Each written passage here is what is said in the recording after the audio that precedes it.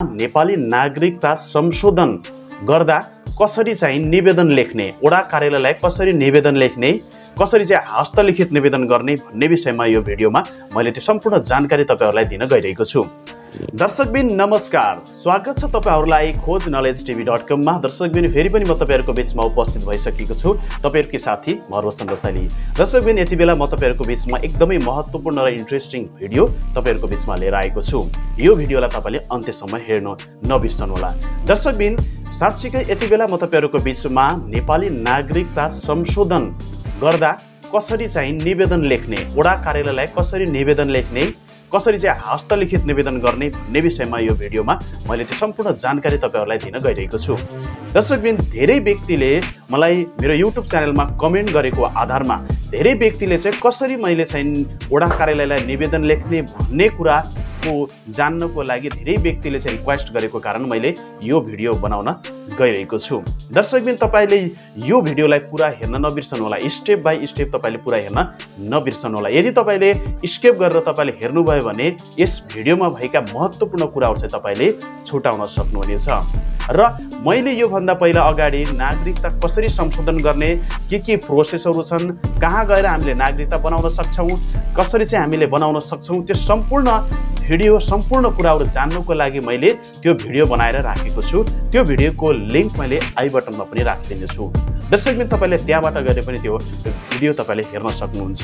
दर्शकबिन तपाईँहरूले साँच्चीकै यो भिडियो कस्तो लाग्छ त्यस्तै प्रतिक्रिया तपाईँले दिन नबिर्सनुहोला। यदि तपाईँले हाम्रो च्यानललाई अहिलेसम्म सब्सक्राइब गर्नुभएको छैन भने साइडमा रहेको सब्सक्राइब बटनलाई सब्सक्राइब गरिदिनु साथै बेलायकनमा गएर अल बटन थिच्न नबिर्सनुहोला। दर्शकबिन यो भिडियो मनपर्छ भने तपाईँले कमेन्टमा गएर तपाईँले आफ्नो अनि प्रतिक्रियाहरू सल्लाह सुझावहरू पनि तपाईँले दिन सक्नुहुन्छ। तपाईँले यो भिडियो सम्पूर्ण जान्नको लागि तपाईँले भिडियोलाई अन्त्यसम्म हेर्नुहोस् र स्किप नगर्नुहोस्। लेट्स स्टार्ट नागरिकता संशोधन अथवा सच्याउनको लागि नागरिकतामा भएको थर संशोधन सच्याउनको लागि सबैभन्दा पहिला त हामीले वडा कार्यालयमा निवेदन लेख्नुपर्ने हुन्छ। त्यो निवेदन हामीले कसरी लेख्न सक्छौँ त त्यो सम्पूर्ण कुरा जान्नको लागि तपाईँले यो भिडियोलाई अन्त्यसम्म हेर्नुहोला। यदि तपाईँले यो स्किप गरेर हेर्नुभयो भने यसमा महत्त्वपूर्ण कुराहरू तपाईँले छुटाउन सक्नुहुनेछ। यति बेला नागरिकता सच्याउनको लागि वडा कार्यालयलाई निवेदन कसरी लेख्ने? धेरै व्यक्तिहरूको रिक्वेस्ट थियो कि निवेदन हामीले कसरी लेख्नु सक्छौँ कसरी चाहिँ कुन शीर्षक अथवा कुन भाषा बनाएर चाहिँ हामीले लेख्नुपर्छ भन्ने कुराहरू चाहिँ उहाँहरूले मलाई धेरै कल गरेर अथवा कमेन्टमा सोध्नु भएको हुन्थ्यो त्यस कारण मैले चाहिँ यो भिडियो बनाउन गइरहेको छु।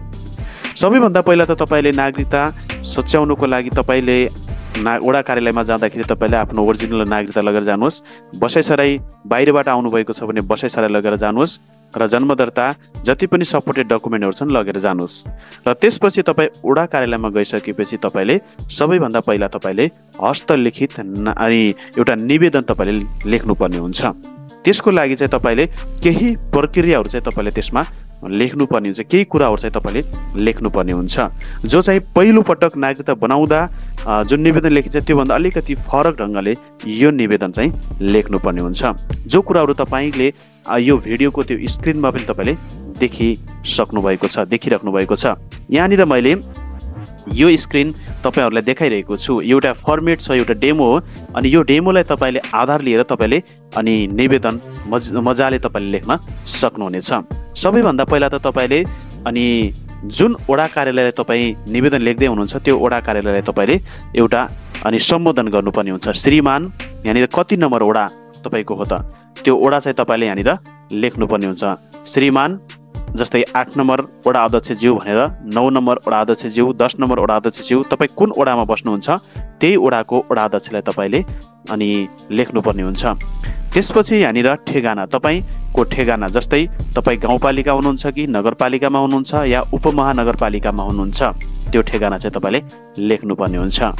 त्यसपछि तपाईँले विषय रहेको छ नागरिकता नागरिकता तपाईँको संशोधनको लागि सिफारिस गरी भन्ने सम्बन्धमा भनेर चाहिँ यो विषय राख्नुपर्ने हुन्छ। त्यसपछि तपाईँले महोदय उपरोक्त सम्बन्धमा सबैभन्दा पहिला धेरै जस्तो व्यक्तिहरूले निवेदन लेख्दाखेरि अलिकति सिस्टम यसमा चाहिँ राम्रो एउटा सिस्टम पनि चाहिन्छ एउटा शैली पनि चाहिन्छ। है महोदय लेखिसकेपछि अलिकति स्पेस छोडेर त्यसपछि फेरि तपाईँले निवेदन लेख्न सुरुवात गर्न सक्नुहुन्छ तपाईँले त्यहाँनिर कारणहरू तपाईँले त्यो अनि डिस्क्रिप्सन जो विवरणहरू तपाईँले यहाँनिर लेख्नुपर्ने हुन्छ। उपरोक्त सम्बन्धमा उपरोक्त सम्बन्धमा यस जिल्ला तपाईँको जिल्ला कुन ठाउँ हो? यहाँ मैले डट डट बनाएर राखेको छु। यो यहाँनिर अनि जिल्ला कुन ठाउँ हो तपाईँको? त्यो जिल्ला तपाईँले यहाँनिर अनि राख्नुपर्ने हुन्छ।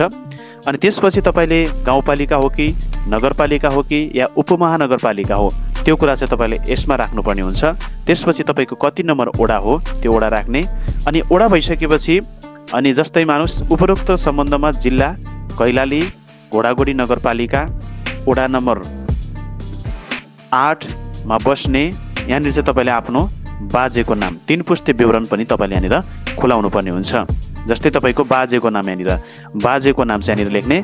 त्यसपछि फलानो बाजेको नाति फलानोको छोरा फलानोले प्राप्त गरेको नेपाली नागरिकता अनुसारको जन्म मिति। यहाँनिर चाहिँ तपाईँले यो जन्म मिति लेख्नु पर्यो तपाईँको नेपाली नागरिकतामा प्रमाणपत्रमा भएको जन्म मिति तपाईँले लेख्नुपर्ने हुन्छ। त्यसपछि यहाँनिर तपाईँले यहाँनिर नागरिकता प्रमाणपत्र यहाँनिर तपाईँले प्रमाणपत्र नम्बर लेख्नुपर्ने हुन्छ है। यहाँनिर मैले नम्बर लेख्न यहाँनिर चाहिँ तपाईँले के गर्नुपर्ने हुन्छ त? नागरिकता प्रमाणपत्र नम्बर लेख्नु पर्यो। त्यसपछि नागरिकता जारी। यहाँनिर चाहिँ तपाईँले नागरिकता जारी मिति। यहाँनिर चाहिँ तपाईँले नागरिकता जारी मिति यहाँनिर लेख्नुपर्ने हुन्छ। के के लेख्नु पर्यो त? तपाईँले यहाँनिर जन्म मिति लेख्नु पर्यो यहाँनिर। अनि त्यसपछि यहाँनिर गएर तपाईँले नागरिकता प्रमाणपत्र नम्बर लेख्नु पर्यो। यहाँनिर गएर तपाईँले जन्म मिति लेख्नु पर्यो। सरी अनि जारी मिति कहिले चाहिँ तपाईँको नागरिकता बनेको हो त्यो जारी मिति यसमा लेख्नु पर्यो। अनि त्यसपछि र कक्षा तपाईँ कति कक्षामा पढ्नुभयो अथवा कक्षी कति कक्षासम्म तपाईँ पढ्नुभयो? अन्तिम तपाईँको जस्तै मानौँ अनि प्लस टूसम्म बाह्रसम्म पढ्नुभएको छ भने बाह्र कक्षा भनेर लेख्नुहोस्। अनि त्यसपछि यदि तपाईँ ब्याचलर अथवा डिग्री हुनुहुन्छ त्यो पनि लेख्नुहोस्। है तपाईँले अनि त्यसमा भएको शैक्षिक प्रमाणपत्र कक्षा बाह्रको शैक्षिक प्रमाणपत्रको सिम्बल नम्बर। यहाँनिर तपाईँले त्यो प्रमाणपत्रमा सिम्बल नम्बर हुन्छ सिम्बल नम्बर राख्नुहोस् रजिस्ट्रेसन नम्बर अनि त्यहाँनिर रजिस्ट्रेसन नम्बर हुन्छ त्यो रजिस्ट्रेसन नम्बर राख्नुहोस्। त्यसपछि त्यो पनि प्रमाणपत्र जारी मिति प्रमाणपत्र जारी मिति हुन्छ त्यो जारी मिति पनि तपाईँले यसमा लेख्नुहोस्। र त्यसपछि प्रमाणपत्रमा भएको नाम यहाँनिर अनि लेखिदिनुहोस्। तपाईँको नाम अनि जुन नाम हुन्छ नि शैक्षिक प्रमाणपत्रमा त्यो नाम चाहिँ तपाईँले यहाँनिर लेखिदिनुहोस्। अनि त्यसपछि भएको व्यक्ति एउटै हो र उक्त व्यक्तिको उक्त व्यक्तिको नाम थर परिवर्तन गरी वास्तविक नाम थर यहाँनिर मैले चाहिँ यो लेखेको छु कारण। कारण है तपाईँले चाहिँ किन तपाईँले नाम अथवा थर तपाईँले परिवर्तन गर्न चाहँदै हुनुहुन्छ? त्यो कुरा चाहिँ तपाईँले यहाँनिर कारण खुलाउनु होला। मैले चाहिँ मेरो यहाँनिर एउटा कारण मैले लेखेको छु जो चाहिँ मेरो उक्त उक्त व्यक्तिको नाम थर परिवर्तन गरी वास्तविक नाम थर राख्न चाहेकोले यो नाम थर है? वास्तविक नाम थर जस्तै मानौँ कामी दमाई ढोली सार्की यस्ता विभिन्न अपमानजनक थरहरू हुन्छन् अहिले समाजमा जुन विगतको समयमा अनि नेपाली नागरिकता त्यसरी चाहिँ बनाइन्थ्यो। तर अब त्यसलाई चाहिँ संशोधन गरेर अहिले चाहिँ आफ्नो वास्तविक थर राख्न चाहने अथवा अनि गर्न चाहनेहरूको लागि चाहिँ नेपाल सरकारले त्यो कानुन बनाइसकेको छ। कानुन बनाइसकेको छ ताकि कोही पनि व्यक्तिले आफ्नो थर वास्तविक थर राख्न चाहन्छ भने उसले सजिलैसँग आफ्नो थर परिवर्तन गर्न सक्छ। त्यसपछि तपाईँले यहाँनिर आफ्नो व्यक्तिको नाम उक्त व्यक्तिको नाम थर परिवर्तन गरी वास्तविक नाम थर राख्न चाहेकोले यो नाम थरलाई जस्तै यहाँनिर तपाईँको पुरानो नागरिकतामा भएको नाम थर शैक्षिक प्रमाणपत्र भएको नाम थर यसमा लेख्नु पर्यो। है, यो नाम थरलाई अ, यो नाम थर यो नाम थरलाई है संशोधन गरेर यो नाम थर राखी संशोधनको लागि सिफारिस गरिदिनु हुन विनम्र अनुरोध गर्दछौ भनेर चाहिँ यसरी लेख्नु पर्यो। तपाईँले मैले सरर पारा पढेर तपाईँलाई सुनाउन चाहन्छु यहाँनिर।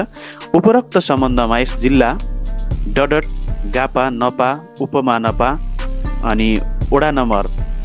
यति डडटमा बस्ने डडटको नाति डडटको छोरा डडटले प्राप्त गरेको नेपाली नागरिकता अनुसारको जन्म मिति डडट नागरिकता प्रमाणपत्र डडट नागरिकता जारी मिति डडट र कक्षा डडटको शैक्षिक प्रमाणपत्रको सिम्बल नम्बर डडट रजिस्ट्रेसन नम्बर डडट र जारी मिति डडट नाम डडट भएको व्यक्ति एउटै हो र उक्त व्यक्तिको नाम थर परिवर्तन गरी वास्तविक नाम थर राख्न चाहेकोले यो नाम थर डडटलाई अनि संशोधन गरी यो नाम थर राखी नागरिकता संशोधनको लागि सिफारिस गरिदिन हुन विनम्र अनुरोध गर्दछु। यो तरिकाले तपाईँले निवेदन लेख्नुपर्ने हुन्छ। अनि त्यसपछि तपाईँले यहाँ तल निवेदक छ। निवेदकमा चाहिँ तपाईँले को व्यक्ति हो त?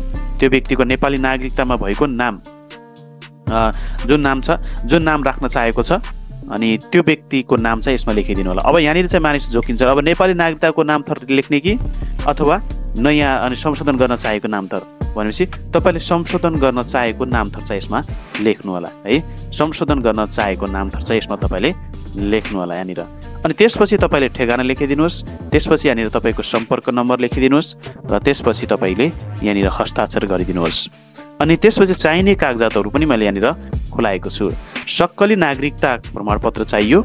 बसाइ सरेको प्रमाणपत्र यदि तपाईँ बाहिरबाट बसाइ सरे आएर तपाईँ बस्नुभएको छ भने तपाईँको बसाइ सरेको प्रमाणपत्र तपाईँको चाहियो।